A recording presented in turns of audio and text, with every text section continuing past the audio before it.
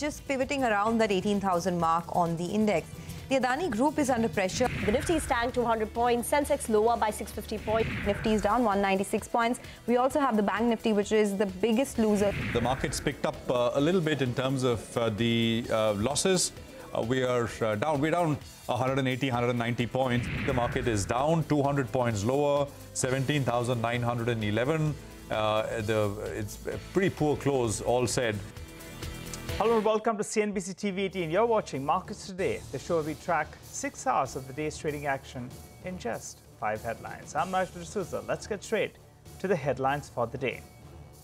Stock markets post the biggest fall in a month. The Sensex loses nearly 800 points. The Nifty loses 200 points. All sectoral indices end in the red. Financials drag while auto stocks support. An upbeat guidance followed by inline quarter helps TVS Motor raise 5% higher. Meanwhile, Bajaj Auto beats estimates in its third quarter as the profits rise nearly 23%. EBITDA is at record highs thanks to judicious pricing and better dollar realization. Pidilite's third quarter numbers miss estimates on all front. The volume growth comes in at 1% in comparison to the 3 to 4% that was projected. The company, however, remains optimistic on demand in future. SBI Cards also sulks after reporting a disappointing third quarter that saw the net interest margins come in at all-time lows, while United Spirits slumps 5% as costs weigh on margins amid lower revenues for the past quarter. Adani Group stocks fall after Hindenburg Research raises concern over valuations and debt. Hindenburg also reveals short positions in Adani Group companies. Adani Group accuses Hindenburg of mala fide intent and calls the charges stale, baseless, and discredited allegations. Production concerns help metal prices higher. However, strengthening dollar keeps prices in check. Metal stocks, though, close with marginal gains. Well, here's the lineup that we have for you on the show. It's a power-packed one as always. In market opinion, we have Mihir Vora of Max Life Financial, while in corporate voices, we have Rama Mohan Rao Amara of the MD and CEO at SBI Cards. Well, let's start off with the day's market action then. The stock markets, well, they saw a sharp sell-off today with every sectoral index ending in the red. The Sensex was down close to 800 points. The Nifty lost close to 200 points. Bank stocks, well, they took it on the chin, and mid caps were not spared either. Prashant is standing by to run us through with the day's market action. Prashant? Well, it was deep red, the market losing 200 points in the Nifty. And if you're looking for one reason, uh, a dominating driver, I don't think there's one to be found. It was a combination of things. Uh, global cues overnight were poor. The market here has been underperforming global markets all of this year. Perhaps a little bit of nervousness ahead of the budget, which is in the middle of next week. So all of this combined adding to uh, the pressure that we are seeing. Uh, banks were uh, also sold off pretty hard, perhaps more uh, on banks as compared to non-banks. Nifty losses coming through in Adani Ports and the Adani Group was another sort of pocket of pressure for the market. We'll get to more stocks in a bit. SBI was down, Cipla was down, IndusInd, the HDFC twins were also sharply lower. Bajaj stood out at uh, gain, but the numbers uh, reacting towards the end, the numbers came out for the third quarter. Numbers look good. Lever, Hindalco were the other stocks which uh, were higher. Market breadth was extremely negative, so I'll stick with losses. As I said, the Adani pack came under selling pressure. Adani Wilmar, Transmission, uh, Green, uh, Ambuja Cement, ACC, uh, all seeing some sell uh, selling. Zomato, um, United Spirits, Container Corporation, a fair bit of earnings disappointments also resulting to uh, selling. Like, for example, in the case of United Spirits, Indus Tower was another earnings-led reaction. Tracxn, the recent IPO, Kiri Industries were some of the other volume-led losses that we saw. The range this year has been 17,800 and 18,200, and today's selling gets us closer to the lower end of the range. The big support for the Nifty comes in around 17,761, which is the low which was made in January earlier. And for the Bank Nifty, it's looking a little more precarious. It did break intraday the December 26th swing low, but we managed to close above it. When we come back day after, I think bulls will hope that these levels are defended with some help, of course, from global markets. Thanks for that, Prashant. Well, moving to the second headline now. Auto majors, they're in focus today with TVS Motors, Bajaj Auto, both of them reporting their numbers for the third quarter. Sonia standing by to run us through the wrap up on all those three stocks. Sonia? Well, thanks a lot for that. So Bajaj Auto just came out with their numbers a while back. The numbers were better than what the street was estimating. In fact, it was a good growth of almost 23% on the profitability for Bajaj Auto. But the big positive really came on the margin front. So the margins have improved to 19.1% versus 15.2%. And the EBITDA, the core EBITDA has gone up by almost 30%, coming in at 1776 crores. The management says this is a record high EBITDA that they have delivered this time around. And a couple of reasons that they have mentioned for the uh, solid EBITDA beat. One is judicious pricing, two is better dollar realizations, and three is a richer product mix that has aided the margins this time around. Uh, so better than expected numbers and a strong operational performance. I expect the stock to trend up as we open on Friday. Now the other stock in focus today definitely was TVS Motor. Very good set of numbers coming in, but I think what the street really liked is the management commentary and the stock ended well in the green up about 6 to 7%. Now, this time around, strong revenue growth of 14% for TVS Motor. You even had uh, the margins that were consistently above 10% for the fifth consecutive quarter, uh, and the profitability as well was up 22%. But what the street liked is the aggression from the management in the electric vehicle space. They spoke about how there's an improvement in the margin profile in Q4 as well because of raw material tailwinds, and they are planning to aggressively expand their electric vehicle franchise by adding multiple products across price points in the next 12 to 18 months. So good showing coming in from the two-wheeler majors. Back to you. Okay, all right. Thanks a lot for that, Sonia. Moving to the third headline today, Pidilite. That stock was down close to 3% after its third quarter numbers missed estimates on all fronts. The volumes came in at just a percent. That compared with projections of around 3 to around 4%. The company, however, remains optimistic on demand as well as margin expansion in the near future. Mangalam joins us to run us through those details. Mangalam? Well, as far as Pidilite numbers are concerned, they were weak, no two ways about it, as compared to our estimates and uh, the street numbers year on year as well they were, uh, you know, rather weak. 5% jump in the revenue year on year, but as compared to street estimates, they were lower by almost 4% as well. The EBITDA came in shy of 500 crores. We were working with a number upwards of 580 odd crores. As a result of which, the margins and the net profits, both of them were below expectations. The consumer business volumes grew just 1% as against street expectations of 3 to 4%.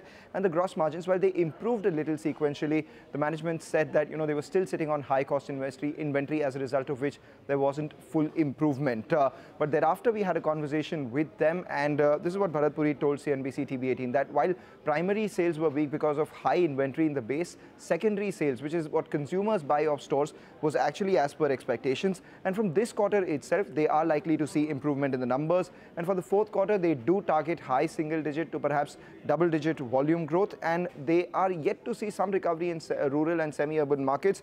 But, uh, you know, the key raw material that they have, vinyl acetate monomer VAM, those prices have settled at around $1,200 as well. Back in the peak, they were close to around $2,500. So all this bodes well for their business in the near future and the medium term. However, today it's weak on account of weak third quarter numbers. Okay, all right, Mangalam, thanks for that. Well, moving on, SBI Cards was down close to around 2% in trade after posting a disappointing set of numbers. The net interest margins came at around 11.6%, which was an all-time low. We spoke to Mr. Rama Mohan Rao Amara, the MD and CEO of SBI Card. He said that the cost of funds will increase by around 30 to 40 bips and NIMS will stabilize in the fourth quarter of this fiscal. Let's hear him out. Cost of funds will increase, uh, but we have observed most of these uh, uh, repricing, etc. So Next quarter, we will be seeing maximum like a 30 to 40 basis point further increase in the uh, cost of funds. NIM will fairly stabilize, maybe 10 basis points here and there, that movement can be there. But uh, we are fairly confident that actually NIM will stabilize in the next quarter at the current level. Current level. Well, United Spirits, that one was down close to 5% and traded weighed down by pressure of cost on margins and lower revenues as well. Surabhi is with us to run us through a quick uh, review of those numbers. Surabhi? The revenue growth is just 10% on a year-on-year basis at 2781 crores, and that is also largely led by increase in uh, increase in prices on a year-on-year basis. Gross margins are under pressure. The gross margins are impacted by the high input cost inflation and is down 400 basis points. This has trickled down to EBITDA as well, which is down 12.4% and margins are down 340 basis points. The company has spent 150 crores on a supply chain agility program, which affects their profitability uh, as well.